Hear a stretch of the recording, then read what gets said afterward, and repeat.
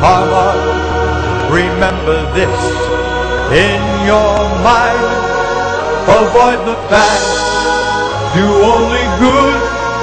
Purify your mind. When you die, you'll go to heaven.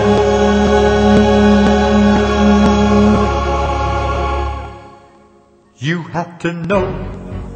and you must know, life's in the cycle of samsara. There is no way to get away under the law, the law of karma.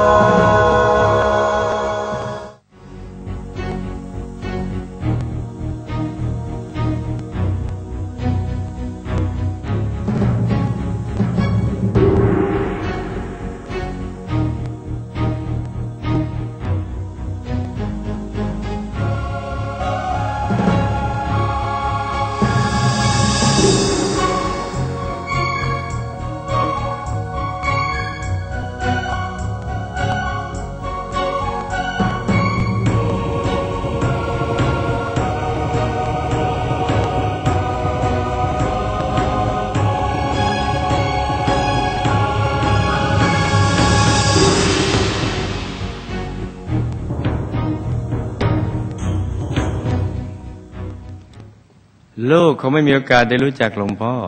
อ้าวแล้วกัน และไม่มีโอกาสได้รู้จักวัดที่ยิ่งใหญ่ที่สุดแห่งนี้แน่ๆถ้าหากเมื่อสิบสี่ปีที่แล้ว ไม่ได้เปิดอ่านไปพบประวัติและวิธีการปฏิบัติธรรมของคุณยาอาจารย์ ในนิตยสารฉบับหนึ่งซึ่งลูกประทับใจมาก ที่รู้ว่าท่านไปช่วยพ่อในนรกได้ จึงอยากปฏิบัติธรรมได้อย่างคุณยาอาจารย์บ้าง แล้วในวันหนึ่งเมื่อลูกกำหนดใจไว้ที่ศูนย์กลางกาย พอใจนิ่งคือเหมือนมี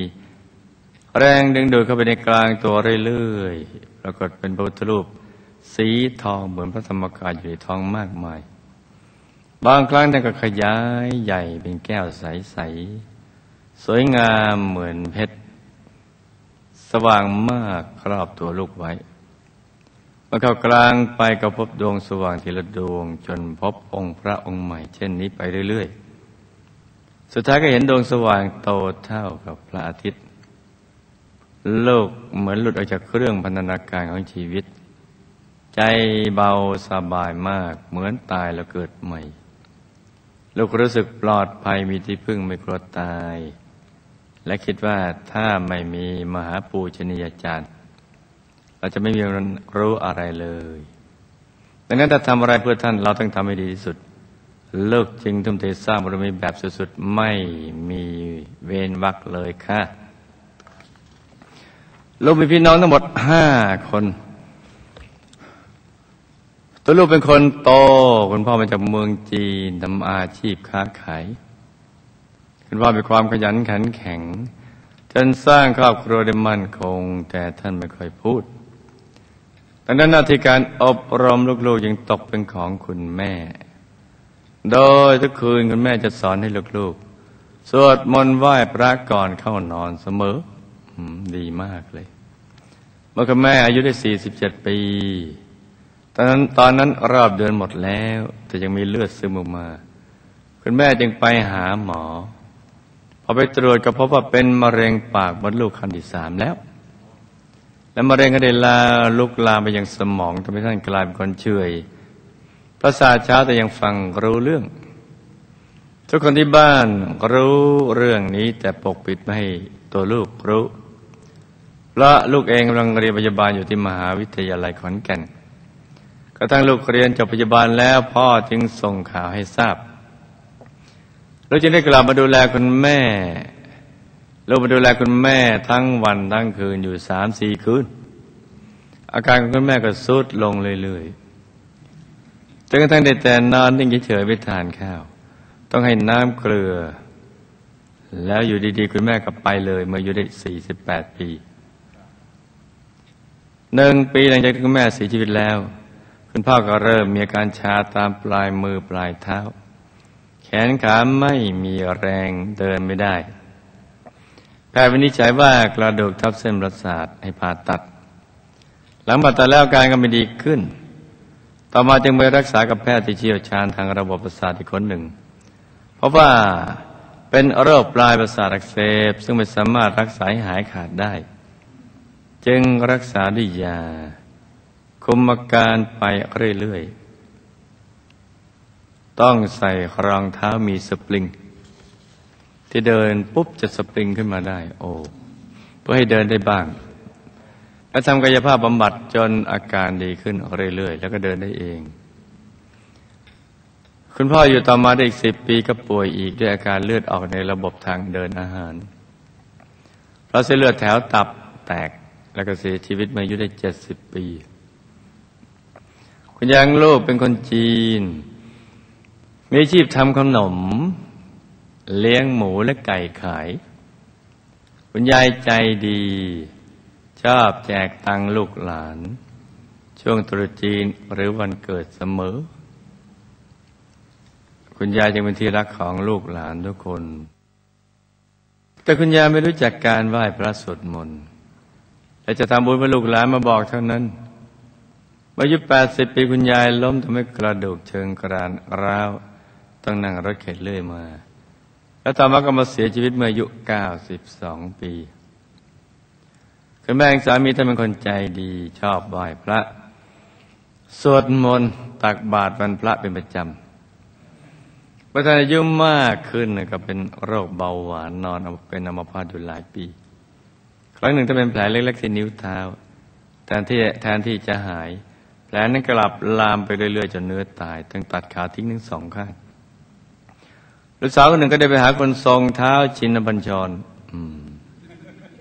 ที่ล่ำลือ ท่านบอกว่าคุณแม่สามีเป็นหลานของเท้าชินบัญชรมมีศักย์ใหญ่ แม่หมดอายุไขแล้วให้ไปขอต่ออายุกับพระการที่ลบบุรี อืม และคุณแม่ไว้ผมยาว แล้วลูกก็ทำตาม และคุณแม่ก็จะต่อมาอีกเกือบสิบปี ชีวิตเสียชีวิตอายุแปดสิบสี่ปีค่ะ แต่ช่วงที่จัดงานศพอยู่นี้อยู่นั้น พี่สะพ้ายอยู่ที่แอนเอคนเดียว พี่สะพ้ายขณะกำลังนอนอยู่ก็ต้องสะดุ้งตื่น เพราะอยู่ดีๆ เตียงเจ้ากรรมก็สั่นสะเทือนมาก อืมเอิดแควกเธอคิดว่าแผ่นดินไหว แต่ก็ไม่มีข่าว พี่น้องฝ่ายสามีแล้วว่าวิญญาณคุณแม่สามีน่าจะไปเขย่าเตียง อืมพอสบายคนนี้ไม่ถูกกับคุณแม่สามีมากทะเลาะกันแทบทุกเรื่องดังขมิ้นกับปูนเลยค่ะ คุณพ่อของสามีท่านรักในการสนับสนุนการศึกษามาก เปิดบ้านให้หลานมาสายจนเรียนจบการศึกษาแล้วหลายคนท่านสุขภาพดี ไม่เคยเข้าโรงพยาบาลเลยกระทั่งอายุ 78 ปีก็มีอาการปวดเขา่าพอไปตรวจก็พบว่าหัวเข่าสึก และยังเป็นตอมลูกหมากโตด้วย วันหนึ่ง ขณะที่ลูกชายกำลังป้อนอาหารให้ ท่านเกิดสำลักผลักมือลูกชายออกแล้วก็ไม่รู้สึกตัวอีกเลย โอ้แพทย์เข็นก็ห้องไอซียูก็ช่วยชีวิตไว้ไม่ทัน จากนั้นสามีก็ฝันเห็นคุณพ่อไม่มีเสื้อผ้าใส่ จึงเป็นห่วงพ่อมาก เราก็แนะนำให้เขานั่งสมาธิ อธิษฐานจิตแผ่ส่วนบุญไปให้ทุกวัน จึงทำให้เขาสบายใจขึ้นค่ะ ปัจจุบันโลกอาศัยอยู่ที่อเมริกา ครั้งที่อยู่เพิ่งมาอยู่ที่อเมริกา ลูกก็ได้ชาพัดเม้นอยู่ แต่ตอนนั้นลูกได้ฝันในคุณแม่ซึ่งเสียชีวิตไปแล้วมาหา แล้วไล่ลูกบอกว่าไปไปไปไป ซึ่งลูกก็ไม่เข้าใจว่ามาไล่ลูกทำไม ต่อมาเมื่อลูกย้ายจากอพาร์ตเมนต์หลังนั้นแล้ว จึงทราบว่าที่แห่งนั้น เคยเป็น สุสานเก่า ถูกต้องใหญ่แล้วถูกรื้อทิ้งไปสร้างเป็นอพาร์ตเมนต์ คนแถวนั้นอยู่ดี ๆ มักจะได้กลิ่นสาบสาง เหมือนวิญญาณอยู่เสมอ และไม่นานนี้เจ้าของอพาร์ตเมนต์ยางรถระเบิดถูกตัวเองตายด้วย ลูกและสามีเป็นลูกเดียวกันสองคน เป็นลูกชายหนึ่งกับลูกสาวหนึ่งคน ลูกชายเมื่อวัยเด็ก เวลาโกรธหรือหงุดหงิด มักเอาศีรษะโขกพื้นหรือข้างฝา เสียงดังโป๊กโป๊กสมาธิสั้น ก็ไม่เป็นไรขอให้มีสมาธิเถอะ อยู่ไม่นิ่งเรียนอยู่เกรดหนึ่ง ปหนึ่งคุณครูต้องจัดให้มานั่งคนเดียว อืม เพราะเป็นคน overactive คอยกวนทำให้เพื่อนๆเสียสมาธิ เพื่อนๆก็สงสัย เอ๊ะเขาเป็นอะไร ตัวเขาเองก็งงแล้วก็สงสัยเช่นกัน ว่าเขาเป็นอะไร สงสัยจังเลย ตอนนี้ลูกชายอายุได้ยี่สิบปีแล้ว เวลาเงินเงียก็จะฟึดฟัดมึนสะบ่อยๆ แล้วความคิดก็มันแล่น อีกทั้งยังเป็นสิวทั่วทั้งตัวอีกด้วยก็ ลูกชายและสามีของลูกเนี่ย ลูกชายกับพ่อเนี่ยมักจะขัดแย้งและทะเลาะกันอยู่เสมอ เคยมีผู้รู้ท่านหนึ่ง ที่ศึกษาแนวมโนมยิทธิ ของหลวงพ่อฤาษีลิงดำนั่งสมาธิแล้วบอกว่าต้นสองเป็นคู่กรรมกันมาในโดยในอดีตสามีลูกเคยเกิดเป็นจักรพรรดิของจีน ฮ่องเต้ลูกชายเป็นนักโทษ ถูกลงโทษในการเคี่ยนตีจึงอาฆาต ชาตินี้มาเกิดเป็นลูกแล้วก็สร้างความเดือดร้อนให้ สามีของลูกทำงานอยู่ที่ปั๊มน้ำมันปีสองห้าสองสามคืนหนึ่ง เขาได้ยินเสียงดังข้างนอกจึงออกไปดู ปรากฏว่ามีรถคันหนึ่งวิ่งสวนมาพอดีก็น่าจะเปิดประตูไปดูให้ดีนะสามีกระโดดหลบแต่เสียหลักล้มลงไปก่อน จึงถูกรถชนจนขาขวาหักจากนั้นก็ฟ้องร้องเรียกค่าเสียหาย ได้เงินมาจำหนึ่งจำนวนหนึ่ง คนรอบข้างต่างพูดว่าได้น้อยไป แต่เราก็ไม่ได้เอาเรื่องอีกคิดว่าเป็นกรรมค่ะ ส่วนทางสว่างรูปเป็นโรค SLE โรคภูมิคุ้มกันผิดปกติ รักษาอยู่หลายปีแต่ไม่หายวันหนึ่งเธอคิดฆ่าตัวตาย กินยานอนหลับ ไปเยอะมาก น้องชายมาเจอเข้า จึงช่วยไว้ทัน แต่สุดท้ายเธอก็เสียชีวิตด้วยโรค SLE โรคภูมิคุ้มกันผิดปกตินี้ เมื่ออายุ38 ปีค่ะคำถามบุพกรรมใดคุณแม่จึงป่วยเป็นมะเร็งปากมดลูกลามไปที่สมอง ท่านเสียชีวิตแล้วขณะนี้อยู่ที่ไหน จะรับบุญที่สร้างพระธรรมกายประจำตัวไปให้ หรือไม่คะ เหตุใดคุณพ่อลูกจึงถูกวินิจฉัยโรคผิดจนต้องถูกผ่าตัด และเป็นโรคปลายประสาทอักเสบถึงสิบปีกรรมใดคุณพ่อจึงมีเลือดออกในระบบทางเดินอาหาร และเสียชีวิตในที่สุดบุญที่สร้างและทำการจำตัวให้ท่านท่านได้รับหรือไม่ กรรมใดคุณยางลูกจึงหกล้มกระดูกเชิงกรานแล้วขณะนี้อยู่ที่ไหน ได้รับส่วนบุญที่ลูกทิศไปให้หรือไม่ กรรมใดคุณแม่สามีจึงเป็นอมพาตเบาหวาน และถูกตัดขาทั้งสองข้าง การไว้ผมยาวและขอต่ออายุกับรักการทำให้แม่อายุยืนมาได้อีกสิบปีจริงหรือไม่ ที่พิสะพ้ยนอนอยู่และรู้สึกว่าบ้านสั่นสะเทือนนั้น เป็นคุณแม่มาเขย่าหรือไม่และขณะนี้คุณแม่อยู่ที่ไหนท่านได้รับบุญสร้างพระธรรมกายจำประจำตัวหรือไม่คะ กรรมใดคุณพ่อสามีจึงหัวเข่าศึก และเป็นต่อมลูกหมากโต พ่อสามีเสียชีวิตจากอะไร เกิดจากการสำลักอาหาร ที่ลูกชายป้อนให้หรือไม่ขณะนี้อยู่ที่ไหน ได้บริการสนับสนุนการศึกษา ได้เปิดบ้านให้หลานๆมาอาศัยจนเรียนจบอย่างไร และได้รับบุญสร้างพระธรรมกายประจำตัวที่อุทิศไปให้ หรือไม่คะ ลูกชายคนโตทำไมจึงมักเอาศีรษะโขกพื้นและข้างฝา เป็นคน overactive สมาธิสั้นคิดช้าเหมือนที่สับบ่อยๆ และกรรมอะไรทำให้มีสิวทั่วตัว รักษามานานก็ยังไม่ดีขึ้นคะแล้วจะแก้ไขได้อย่างไรคะ สามีมีกรรมอะไรยังถูกรถชนขาหัก การฟ้องร้องเป็นไปโดยสุจริตจะมีกรรมอย่างไรหรือไม่ สามีและลูกชายเป็นคู่กรรมกันมา ดังที่ผู้มีญาณว่าไว้ จริงหรือจะแก้ไขได้อย่างไรคะน้องสบายจะเป็นโรค SLE จะมีกรรมจากการคิดฆ่าตัวตายหรือไม่ ตอนนี้เธออยู่ที่ไหน บุพกรรมอะไรจึงอายุสั้นด้วยโรคนี้ลูกเป็นผู้ใหญ่นับถือท่านหนึ่ง เรียกท่านว่าอากู ท่านเจ้าทำพิธีไหว้สิ่งศักดิ์สิทธิ์ให้อยู่เย็นเป็นสุข ค้าขายดีขณะนี้ท่านตายแล้วเป็นไหน แล้วได้รับบุญที่ลูกที่ไปให้หรือไม่คะคุณแม่ได้มาเข้าฝันให้ลูกออกจากอาพาร์ตเมนต์เพราะเป็นที่สุสานเก่าจริงหรือไม่ ถ้าจริงทำไมลูกจึงไม่พบการรบกวนของวิญญาณเหล่านั้นเลย แต่ลูกขณะนี้มีเนื้องอกในมดลูกสองแห่งขนาดสองเซนติเมตรและเป็นโรคภูมิแพ้ หากถูกสารเคมีผิวจะคันและลอกเป็นมาสิบกว่าปีแล้ว เป็นเพราะบุพกรรมใด บุญต่างๆที่ลูกทำไปจะช่วยได้หรือไม่คะลูกทั้งสองลูกก็เป็นโรคภูมิแพ้ด้วยโอ้ลูกทั้งสองคนเลย เพราะกรรมเดียวกับลูกหรือไม่ จะแก้ไขได้อย่างไรคะตัวลูกสามี ลูกชาย ลูกสาว เคยสร้างบารมีกับหมู่คณะมาอย่างไร ทำอย่างไรจึงจะเข้าถึงพระธรรมกายในตัวได้ในเวลาไม่นานคะและน้องสาวน้องชายลูก น้องสาวและน้องชายลูก รวมทั้งน้องสาวของสามีเคยสร้างบารมีร่วมกับหมู่คณะมาบ้างไหมคะอืม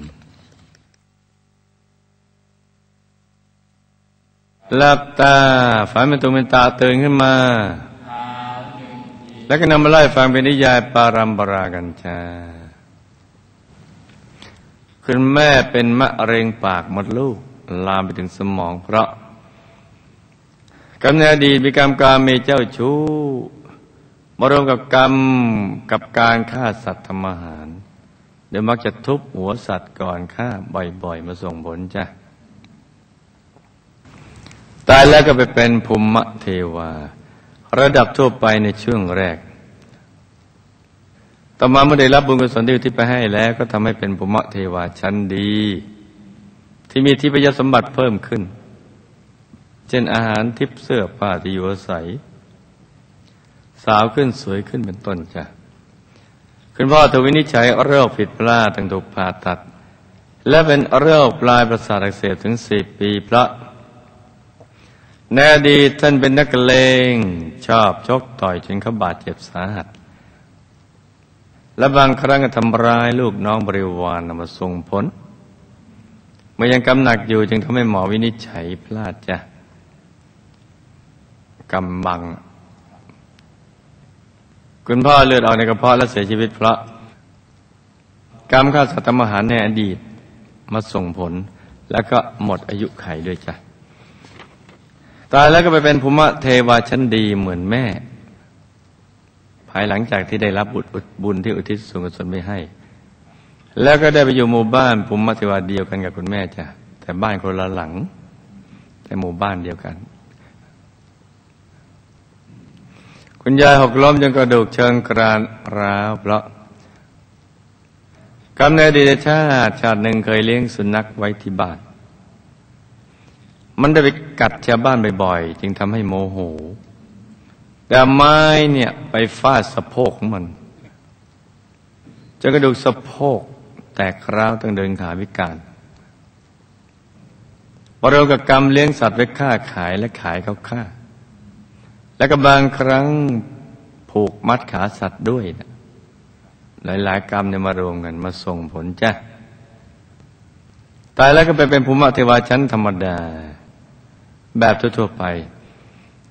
ต่อมาเมื่อได้รับบุญที่อุทิศไปให้ก็ทำให้ท่านได้ไปเป็นภูมิเทวาชั้นดีในหมู่บ้านภูมิเทวาแห่งหนึ่งจ้ะ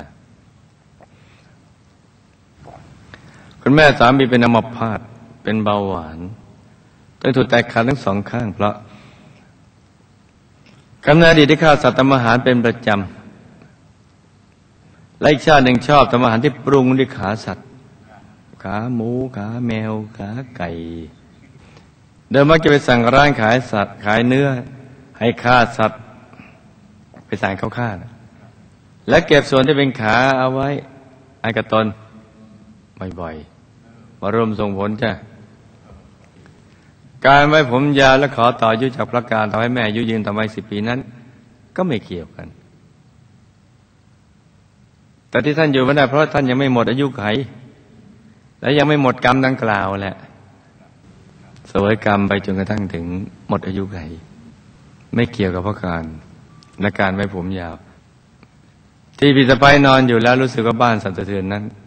ก็ไม่ได้เกี่ยวอะไรกับแม่มาก็ยาวจะเกี่ยวกับเรื่องอื่นคุณแม่ตายแล้วก็ไปเป็นบุญวะชั้นดีที่บุญที่ทำไว้ในพระพุทธศาสนาเมื่อได้รับบุญที่ไปให้ก็ทำให้มีสภาพดียิ่งขึ้นไปอีกในทุกด้านจ้ะ เห็นสาวขึ้นสวยขึ้นมีอาหารทิพย์เสื้อผ้าและสมบัติมากขึ้นจ้ะ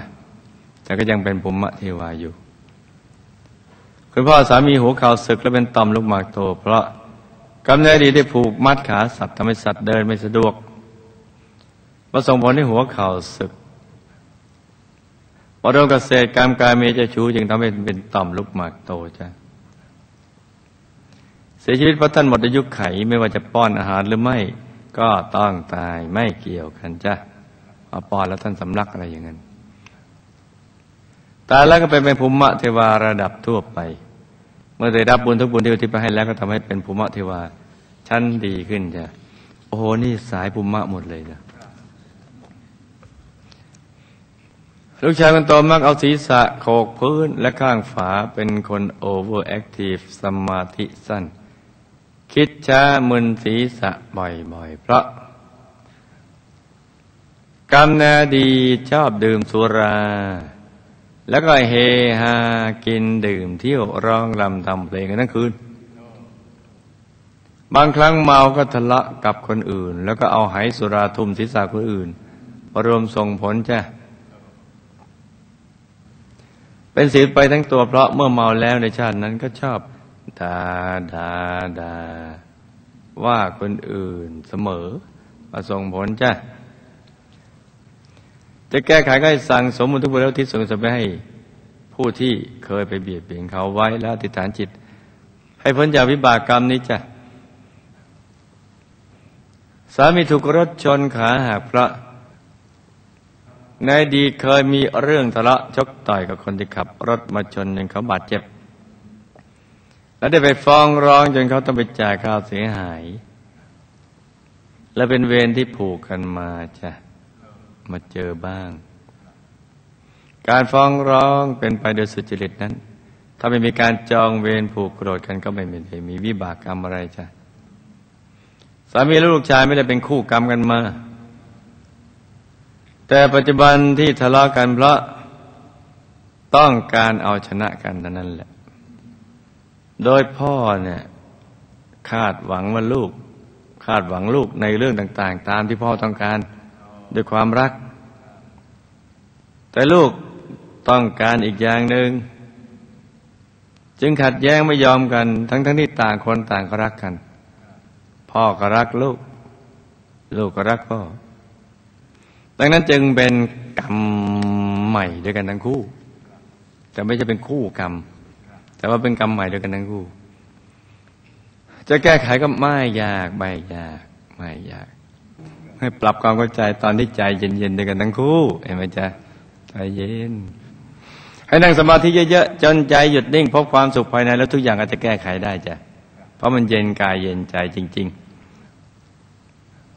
ๆน้องสะพ้ายเป็นโรค SLE คิดฆ่าตัวตายแต่ไม่ตายนั้น ก็จะเป็นผังติดตัวไป ที่เมื่อเกิดใหม่เจอปัญหาชีวิตก็จะคิดฆ่าตัวตายอีกจ้ะส่วนที่เป็นโรคนี้เพราะกรรมในอดีตที่ฆ่าสัตว์มหาร แล้วก็ฆ่าขายมารวมกับกรรม ช่อราดบังหลวงโกงงบแผ่นดินรับสินบน มารวมส่งผลให้เป็นโรค SLE และอายุสั้นจ้ะ แต่แล้วก็ไปเกิดใหม่เป็นมนุษย์แล้ว ไม่อาจจะรับบุญได้จ้ะอากู ตายแล้วก็ไปเป็นภูมิเทวาระดับตัวไปที่ ที่ศาลเจ้านี่ตัวไหว้เคารพสิ่งศักดิ์สิทธิ์ทั้งหลายนี่แหละได้รับบุญอุทิศบุญกุศลได้รับบุญที่อุทิศไปให้แล้วก็ทำให้ท่านมีสภาพที่ดีขึ้น แต่ก็ยังอยู่ที่ศาลเจ้าก็ที่ลูกฝันว่าคุณแม่ให้ออกจากอพาร์ตเมนต์เพราะเป็นสุสานเก่านั้น ก็เป็นแค่จิตนิวรณ์ที่รักและผูกพันกับคุณแม่ มารวมกับธาตุวิปริต จึงทำให้ฝันเป็นตุเป็นตาไปจ้ะตัวลูกมีเนื้องงอกในมดลูกสองแห่ง และเป็นโรคภูมิแพ้เป็นเวลากว่าสิบปีแล้วนั้นเพราะกรรมในอดีตเป็นผู้ชายเจ้าชู้ประกอบกรรมฆ่าสัตว์เล็กสัตว์น้อย ต่างกรรมต่างวาระมารวมกับวจีกรรม ที่ชอบเถียงผู้หลักผู้ใหญ่คนโน้นคนนี้ ให้แสบแสบคันคันๆใจ มารวมส่งผลใจคือถ้าพูดดีๆ ก็ไม่มีปัญหาแต่แถมไม่ต้องแถมลูกทั้งสองก็เป็นโรคภูมิแพ้ด้วยลูกทั้งสองของเจ้าของเคสเพราะกรรมฆ่าสัตว์เล็กสัตว์น้อยต่างกรรมต่างวาระมาบอกกับวิจีกรรมแบบเดียวกับคุณแม่จ้ะจะแก้ไขทั้งสั่งสมบูรณ์ทั้งบุญทั้งทานศีลภาวนา ล่อยสัตว์ปล่อยปลาผู้ปิยวาจาสวดมนต์ไหว้พระเป็นหนึ่งนิด พูดสิ่งดีๆชวนคนทำบุญ รักษาศีลเจริญภาวนาชวนคนทำความดี แล้วที่บุญกุศลไว้แก่ผู้ที่เราเคยไปเบียดเบียนเขาไว้ และติฐานจิตให้พ้นจากวิบากกรรมนี้จ้ะตัวลูกสามีลูกชายลูกสาวเคยสร้างบารมีกับหมู่คณะมาโดยเป็นกองเสบียง ประเภทบางครั้งก็เต็มที่ บางครั้งก็เต็มที บางครั้งก็ตามอารมณ์บางครั้งก็ตามกำลังจ้าถ้ายากเขาถึงพระธรรมกายภายในก็ต้องมีความเพียร ขยันนั่งอย่างสม่ำเสมอให้ถูกหลักวิชาจ้านักษาสามี นักษานักชายลูกเคยสร้างบารมีกับหมู่คณะมาโดยเป็นกองเสบียงบางครั้งก็ต่อเนื่องบ้าง บางครั้งก็ไม่ต่อเนื่องบ้างดังนั้นบางชาติก็เจอกันบางชาติก็ไม่เจอกัน ชาตินี้มาเจอกันแล้วก็ให้ตั้งใจสร้างบารมีเต็มที่ในทุกบุญและติฐานจิตตามติดไปดุสิบุรี วงบนวิเศษเขตบรมโพธิสัตว์จะได้พลัดกันเลยจ้า